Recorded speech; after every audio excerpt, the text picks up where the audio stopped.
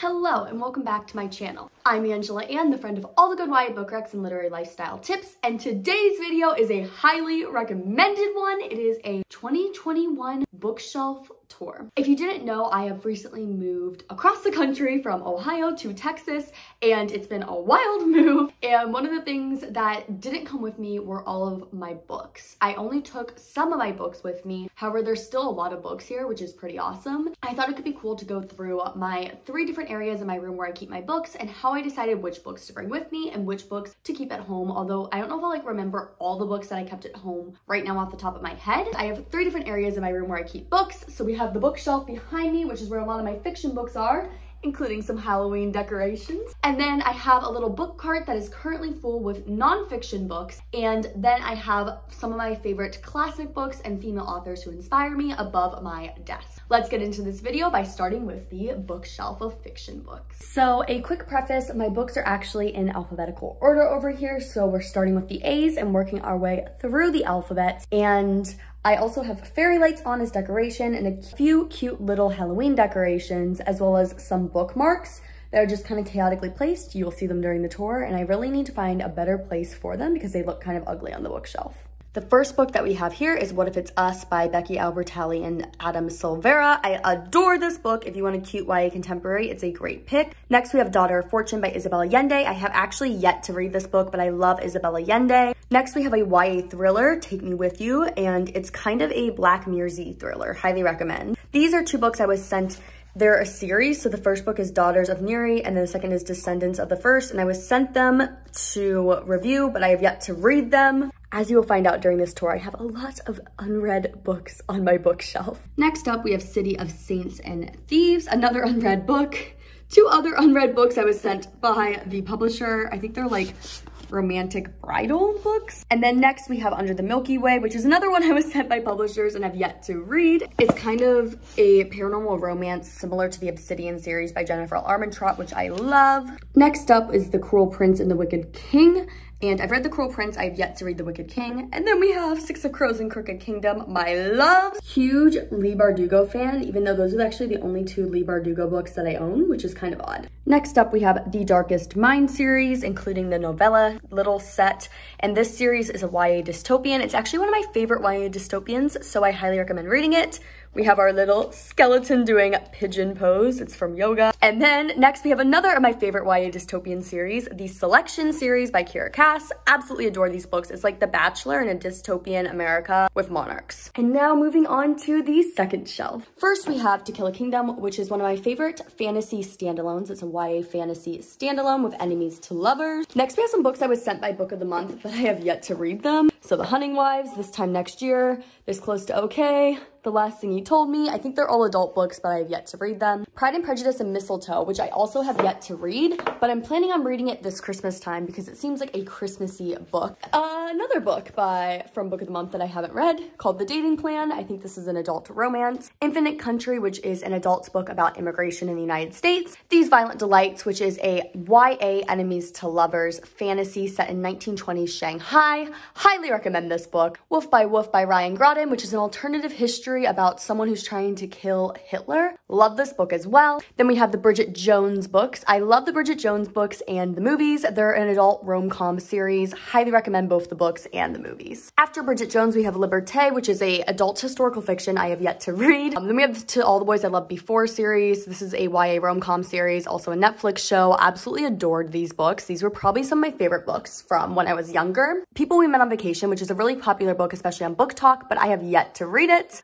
Book I have yet to read, a historical fiction book I have yet to read, a thriller I have yet to read, a thriller I have yet to read, and a thriller I have yet to read. This is almost a tour of my TBR pile as well. And then over here we have our little pumpkin guy who's gonna get out of the way so we can see the books, but also isn't he so cute? Anyways, now onto the books. We have the Truly Devious box set. I have read the Truly Devious. I have yet to read the rest of the books in the series, but clearly I wanna read them since I bought the entire box set. And then You Should See Me in a Crown, which is a YA contemporary rom-com. I absolutely adore this book. Defy the Night, which is a YA fantasy book that's coming out in this month in September. I have yet to read it, but I'm really looking forward to reading it. It's on my September TBR. More books that I was sent by publishers that I have yet to read. And then we have The Gentleman's Guide to Vice and Virtue and The Lady's Guide to Petticoats and Piracy, which is a super awesome YA historical fiction series with LGBTQA representation. And I absolutely adore both of these books. The third one I think is coming out in November. As you can see, there's like an awkward amount of space in between these books but that space is there for the inevitable expansion of my book collection as my book buying habits are pretty crazy and I will most likely be buying new books very soon. The next one, this is an adult thriller called People Like Her. I have yet to read it. And then Tweet Cute, which is an young adult romance involving Twitter, and it's adorable. It's like You've Got Mail, but set in the modern day times. And then, of course, we have the Throne of Glass series by Sarah J. Maas. I actually don't own Throne of Glass, which is kind of like a weird thing. I gave Throne of Glass to someone to read and they never gave it back. And I also don't think they ever read the book. So that's the reason why I don't have it. And I'm just like too afraid to ask this person for it back. So we just don't have Throne of Glass. On the end, right next to the Throne of Glass series is Crescent City book one. And I have, well, House of Earth and Blood, I think is the series name. And then Crescent City is the name in the first book. I have yet to read this book, but I'm really looking forward to reading it. It almost seems like it's a good like November book to me, if that makes sense does anyone else just like irrationally assign seasons to books or is that just kind of like a me thing? And then down here we have these ugly bookmarks I told you about that I just really need to find a place because like I said, like it just doesn't look cute with them right there. We'll remove them for now. I just really need to find like a little container or something for them. Of course, we have the ACOTAR series. My loves, I adore this series. It's a new adult romance series, also like new adult fantasy romance series. I Let You Go, I think it's a thriller. I haven't read it yet. Arsenic and Adobo, which I think is also a, a adult thriller, but I haven't read it yet. Next, we have Two Can Keep a Secret by Karen M. McManus. I love Karen M. McManus and I adore this book. This is actually a really great young adult thriller for fall time. Sky Falling, which is an adult book. One Last Stop, which is a new adult book by Casey McQuiston. I am currently reading this one for my September Patreon book club. The link to my Patreon book club is always down below in case you want to join. We read young adult books together and talk about them over Zoom, which is just such a fun time. Next to it, we have Red, White, and Royal Blue, also by Casey McQuiston. This is another new adult book about the first son of the United States and the Prince of England falling in love. Very cutesy. Then we have The Maidens by Alex Michaelides. I've heard this is a really great, like, thriller with dark academia vibes and I adore this cover, but I have yet to read it. It seems like it would be a good October book. Then we have Don't Hate the Player by Alexis Nedd, which is a really cute YA contemporary involving video games. Highly recommend this for any fans of video games. Next, we have All the Bright Places by Jennifer Niven, which is a really great young adult contemporary. It's also a movie and I just adore that book. Next, we're venturing into my acquiring collection of Taylor Jenkins Reid novels. I intend to buy every novel she's written, but so far all I have is Malibu Rising, which I read in June and I adore it. It's a great adult historical fiction set in the 1980s. And then I really want to read The Seven Husbands of Evelyn Hugo. I mean, this cover's just gorgeous. I love that dress. It's a another adult book about a almost like an Elizabeth Taylor-like figure who's married tons of guys in like 1950s, 1960s Hollywood. Then we have The Boyfriend Project, which is a really cute adult romance and also takes place in the city that I live in. So that's super fun. Finally, we have Honey Girl, which is another adult romance and I really want to read it, but I just haven't gotten around to it. For decor, we have this cute little tin that I got in Argentina it held some alfajores, which is an Argentinian dessert. I really don't know how to describe alfajores other than like you just have to try them and also just go to Argentina because Argentina is like one of the prettiest countries I have ever visited and I like a piece of my heart was left in Argentina. And finally, we have our last bookshelf. So we have Can't Take That Away by Steven Salvatore. Then we have Blood Like Magic by Liselle Sambury. I just interviewed the author of this book on my Instagram, so definitely go and check out that interview. But this is a really awesome sci-fi fantasy, like, story. So it's like sci-fi, but it involves witches, and it's fantastic and really glares against these fairy lights.